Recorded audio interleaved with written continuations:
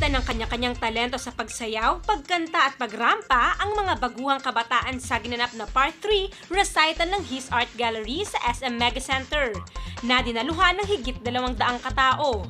Kabilang sina Charles Andrew Cruz at Bea S. Abustan na estudyante ng His Art Gallery na nagbahagi ng kanilang mga natutunan.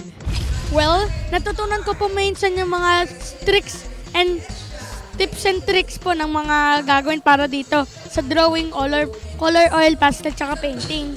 Katulad ng mga blending po, pati ng mga sketching, blending of ano, ng ink.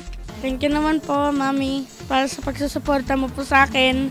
At lagi mo kami minamahal. Lagi mo sinasabi maganda yung drawings ko po. Salamat po sa pagsusuporta mo po sa akin. Natuto po ako sumayaw.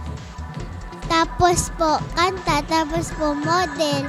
Ta- tapos po marami po ako ng gin friends. At sa lahat at sa lahat po pray muna bago sa lahat. Nanay, maraming salamat po sa ginawa niyo po sa akin lahat. Salamat po. Thank you po. Love you na. Sa panayam kay Catherine Comandante Sangil, founder at presidente ng His Art Gallery, sinabi nitong ensayo at pagdidisiplina ang kanilang ginagawa sa paghahanda. Ang preparation yan talaga, number one is discipline. Okay? Discipline, practice, buong, buong summer from April to May. Siyempre, nang, nagpa-practice kami dito sa SM Mega Center at sa iba pang branches. Dagdag pa nito, mahirap matutunan ng isang partikular na bagay kung hindi ito paglalaanan ng pagmamahal.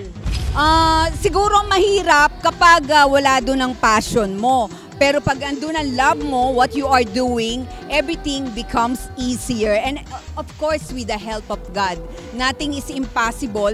Lahat, naniniwala ka ba, Ma'am Gets? Lahat maa-achieve mo. Everything follows pag nandyan siya.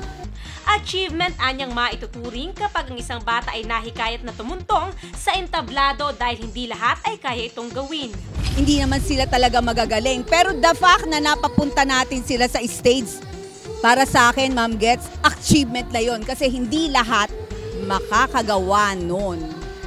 Mensahe nito na baliwala ang mga ginagawa natin kung wala ang Panginoon sa ating buhay at bilang pasasalamat ay ibinabalik anya ang lahat ng papuri at pasasalamat sa Panginoon. I'm giving back all the glory to God.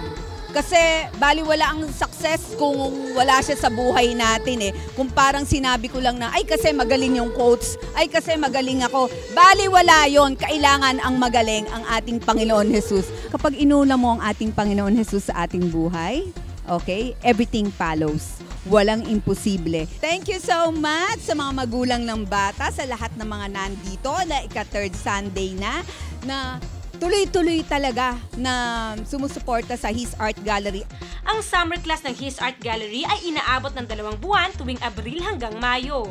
Nagkakahalaga ng 3,000 piso ang ensayo na unlimited session na. Bukod dito ay nagbibigay din ng scholarship ang His Art Gallery sa piling mga bata. Layunin nito na hubugin ang talento ng mga kabataan, maging produktibo at magkaroon ng lakas ng loob upang masanay sa harap ng maraming tao. Para sa Balitang Unang Sigaw, gets Rufo Alvaran. Unang sigaw